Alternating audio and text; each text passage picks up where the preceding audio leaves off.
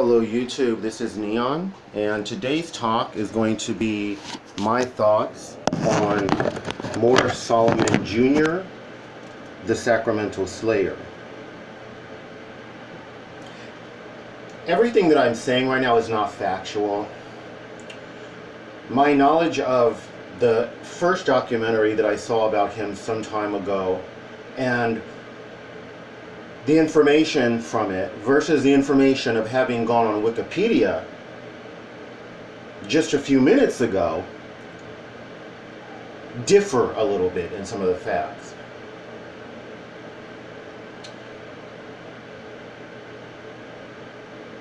Some of what I read on Wikipedia about him doesn't jive with the, the first documentary I saw some years ago when I was obsessed with watching every serial killer documentary that I could watch.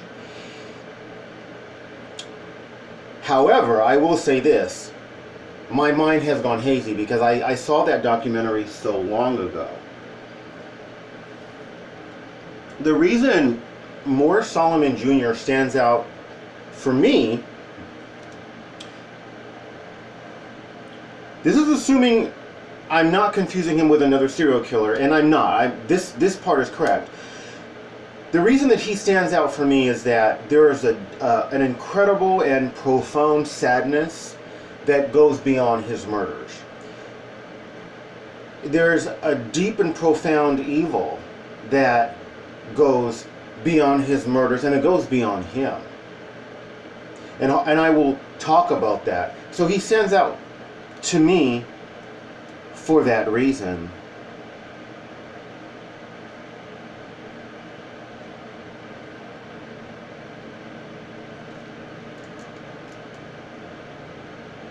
That I will I will go into detail with shortly. I wanted to say that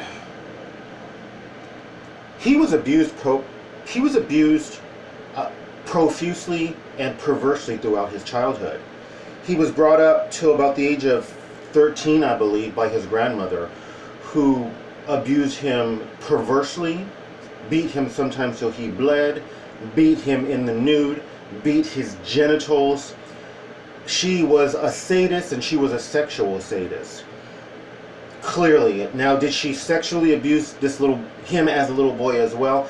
Wikipedia doesn't say that, but anytime a child's genitals are abused, there is sexual sadism involved. It may be emotional, psychological turn on that the grandmother was getting, but a very perverse and evil woman. He did get the death penalty, ultimately, for his murders. I do not agree that he should have gotten the death penalty. And if he did get the death penalty, quite frankly, I think the grandmother and his mother should have gotten the death penalty. He ultimately went to live with his, I believe, his biological parents and they were abusive to him as well. And they may have been sexually abusive as well as physically abusive. He was convicted of killing six, I believe all of them were women, I believe. And I believe that they were not all African American women. Morris Solomon Jr. was an African American serial killer. His killings took place outside of Sacramento, California, in the very poorest, crime-ridden sections of that city. Now, I may be wrong, but I believe the neighborhoods where most of his killings took place were Oak Park, Cannery Row, Trippin Alley, I think is how it's called, Trippin Alley.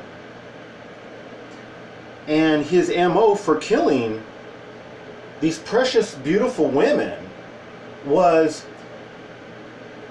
he he would get women who were working in the sex trade industry, who were paid sex workers, and who, and generally speaking, who struggled with drug addiction. He would murder them, possibly in various ways, and he would bury them on the properties that he was pay, being paid to repair. He was a handyman who could rebuild old homes for entrepreneurs that were trying to make money,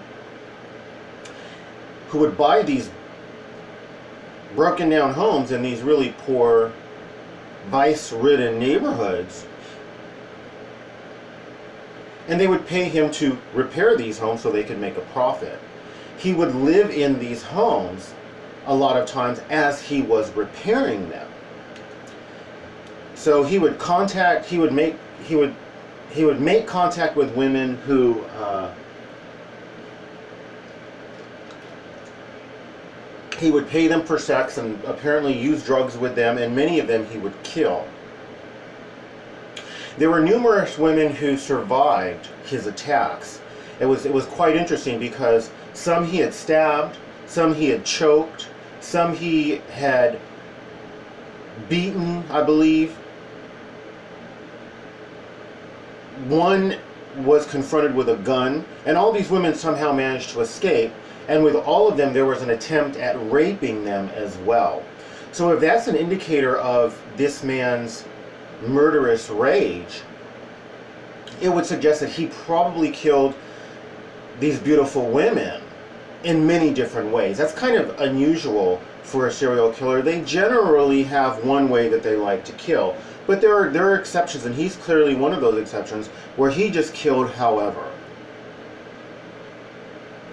He's believed to have killed at least seven, but one of the women that he killed, they ended up dropping the charges. Most of the evidence against him is really powerful circumstantial evidence. these various women on various properties that had been dug up. Their bodies were found, and the date that I'm not sure if it's called the coroner, but the person who investigates to try to find out how and when a person died, they would they had determined that this person had been killed and buried during the dates that this evil man was on that property preparing these properties. He would live at these properties up to six months, perhaps longer, but he would stay for months at a time as he was repairing these homes.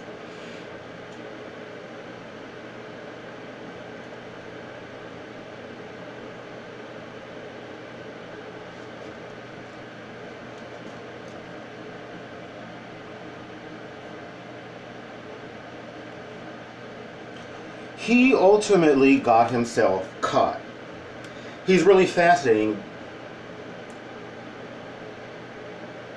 There's a tiny percentage of male serial killers that kill because they want to be famous.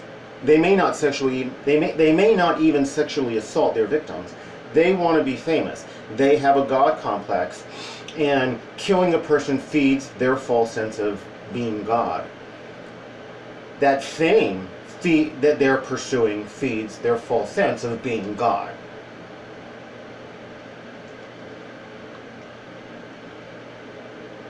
And killing innocent lambs is worth it for them to get that. Now, many serial killers who kill, when it becomes boring, because they've killed so many people and gotten away with it, then they now want fame and recognition for what they've done. This is what got Morris Solomon Jr. caught. Now, there's two theories as to why he reported one of the murders that he committed. One was that he wanted attention, he had killed so many women and these women were not valued. They were not valued by their family members, friends, or loved ones. Many of these women had never been reported missing. Nobody knew that there was a serial killer on the loose. So he had killed, I'm going to suggest, many more than seven women. Because ultimately, investigators stopped searching at prior properties to dig around the properties and find more bodies. But every time they went to a previous property, they were finding more bodies. So I believe more than seven women's bodies were found. He had killed, he got bored, and so he wanted to get attention, not realizing that nobody knew that he was a serial killer, that he had killed so many women.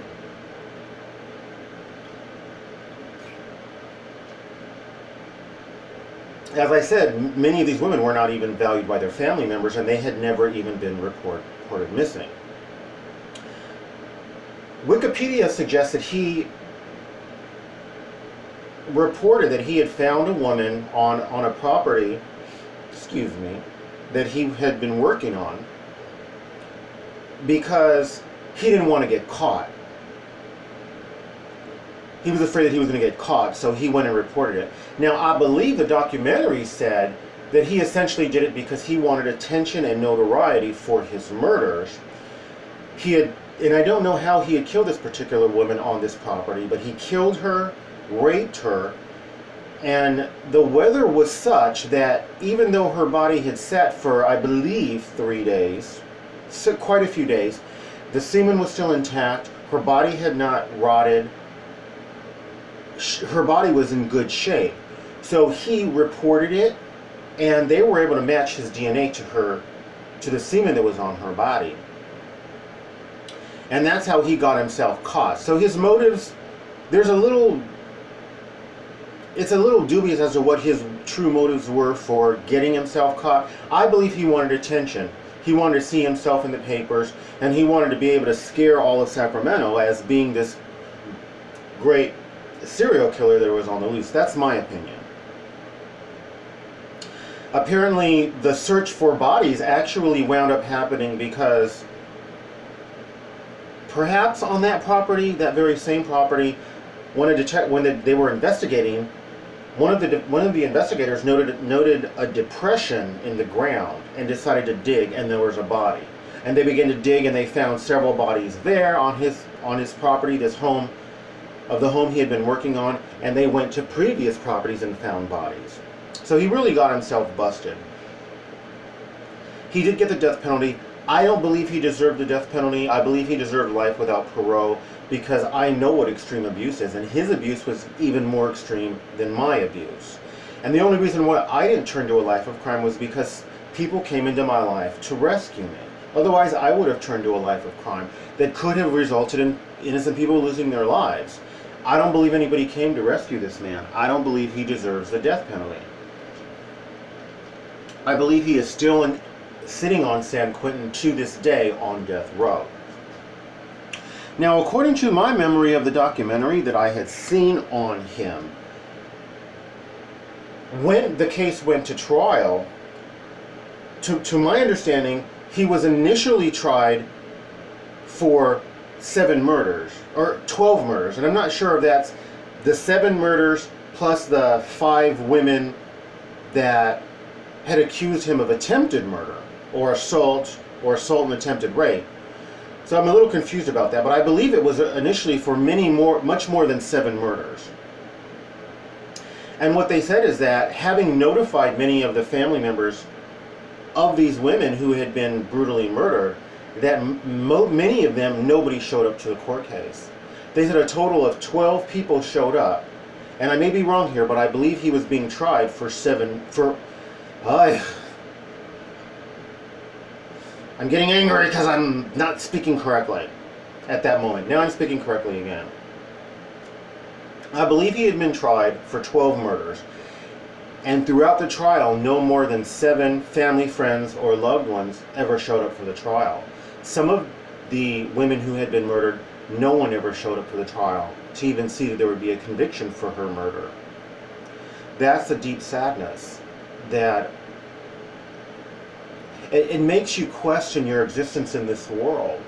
That if family members can reach a point in their life that their devaluation of their daughter, their sister, their granddaughter, their cousin is so low there's that there's no value at all that they don't even show up for court to see that the person who murdered their family member is going to be made to pay for his crime. It makes me think, do I even want to live in a world where clearly blood, blood is not thicker than water? Where the death of a loved one, of, of a family member, because clearly they're not a loved one, where death of a family member of our own blood doesn't even matter. It really does make, it really made me question my existence in the world. And it is that deep sadness and it's that deep and profound and ugly evil that I saw that is outside of Morris Solomon Jr.'s murders. That's the evil of these family members themselves that stuns me and shocks me and was very, very hard to, to accept. Those are my thoughts. Please like, subscribe, share, comment commercials, recommend my videos, do one or more of those things. Thank you. That's what it is.